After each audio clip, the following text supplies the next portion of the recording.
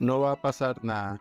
Editorial Los Irreverentes. Colombia es un país que pasa de un escándalo a otro en un abrir y cerrar de ojos. A comienzos de año la crisis fue desatada por las demoladoras revelaciones de las esposas de Nicolás Petro respecto de los cientos de millones de pesos que aquel recibió en manos del narcotráfico.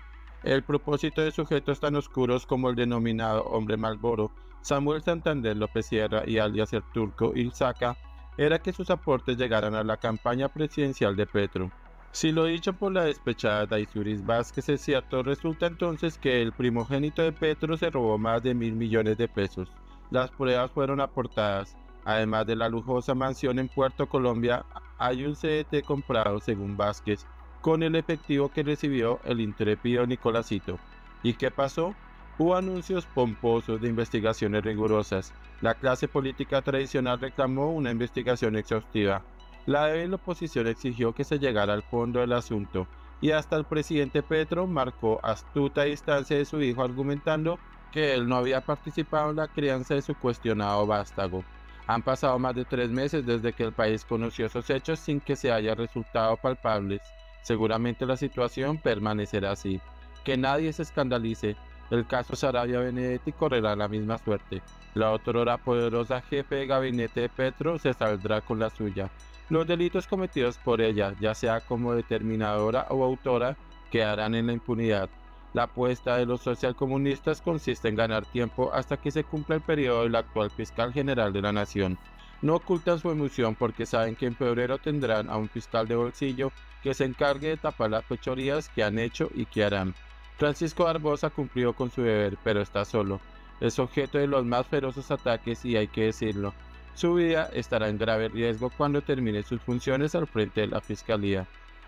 Los que se atrevan a poner en riesgo la estabilidad del régimen han quedado plenamente notificados por cuenta del supuesto suicidio del coronel Oscar Dávila, un hombre clave en la investigación que se adelanta por los delitos que ordenó Laura Sarabia en contra de la niñera Marelis Mesa. Los audios previos a su muerte, el oficio que radicó ante el fiscal Barbosa y su comportamiento como el supuesto pago de honorarios a su abogado, no delataban en absoluto planes suicidas. Será la justicia la que determine qué sucedió, pero lo hasta ahora conocido arroja muchísimos interrogantes. ¿Por qué una persona que estaba armada recurre a la pistola de su escolta para acabar con su vida? ¿Por qué el escolta dejó el arma en el vehículo? ¿Por qué en las cámaras de seguridad se observa el escolta ansioso asomándose hacia el lugar en el que estaba la camioneta? Ninguna hipótesis puede ser descartada. Ni Petro ni el ministro de Defensa son autoridades en medicina legal, ergo no tienen facultades para concluir como hicieron desde el primer instante.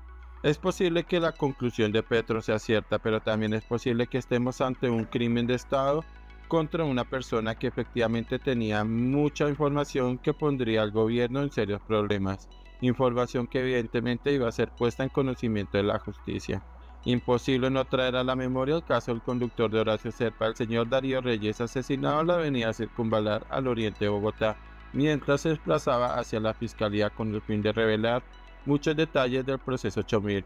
Reyes conocía muchos secretos de Serpa, quien murió sin responder por ese crimen, por su participación en la narcofinanciación de la campaña de Ernesto Samper y por su papel de determinador del magnicidio del dirigente conservador Álvaro Gómez Hurtado. El escándalo de Petro lleva menos de dos semanas, seguramente saldrán a la luz muchas más evidencias de hechos asquerosos ocurridos en su campaña. La indignación nacional seguirá aumentando. El mandatario social comunista radicará su discurso extremista. El fiscal Barbosa tratará de hacer lo que sea posible, pero al final del día nada sucederá. Todo quedará debidamente tapado como cuando a Samper, contra toda evidencia, 111 representantes a la Cámara le precluyeron la investigación que cursaba en su contra.